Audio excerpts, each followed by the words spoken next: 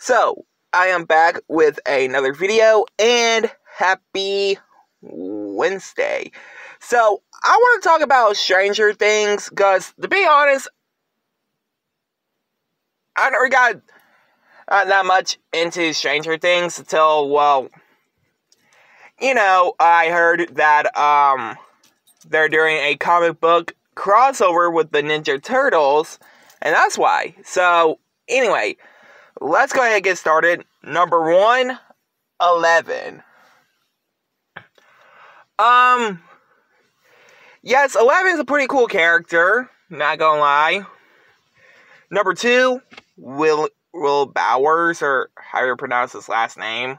Because again, I only watched like two or three episodes of Stranger Things. So yeah. Number three, Lucas. Number four, uh, Mike or whatever uh, Finn Wolfhard's character name is.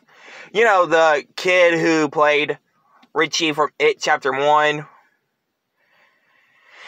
And last and certainly not least, number five, Steve.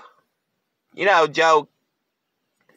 Uh, the dude who played Steve from uh, Free Guy.